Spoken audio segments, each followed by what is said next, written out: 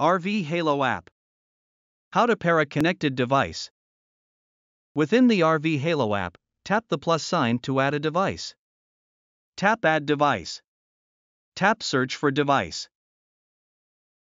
Tap Wireless Connectivity. Tap your device type in the list. If you are not already connected to the Winegard wireless network, connect to it now, then go back to the app.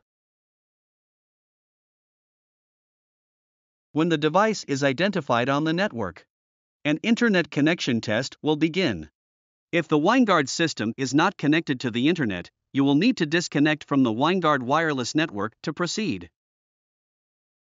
Tap Continue when prompted. Fill out the registration and tap Register.